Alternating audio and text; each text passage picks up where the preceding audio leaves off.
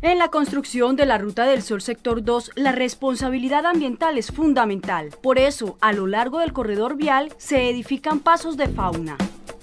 Los pasos de fauna son estructuras que permiten el desplazamiento seguro de los animales a través de la doble calzada. Esto pues para garantizar su bienestar, evitar pérdida de ejemplares por atropellamiento, además que tengan cómo cruzar a los diferentes hábitats que han quedado separados por la construcción de esta doble calzada.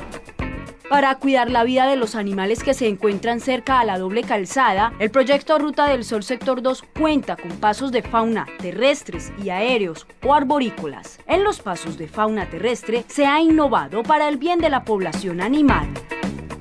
Comenzamos a innovar con estas estructuras. Cuando llegó el proyecto vimos que estaba la vía existente, pero no había ningún tipo de, de adecuación para el paso seguro de esos animales. Entonces empezamos a armar pasos eh, terrestres a través de adecuaciones en concreto.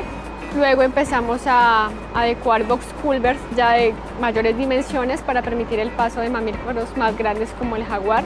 Ya los pasos de fauna arborícola son estilo puente colgante, en donde los animales como los primates, como los osos perezosos, pueden desplazarse a través de la vía de forma segura, utilizando las guayas, utilizando los peldaños que, que conforman estos pasos colgantes.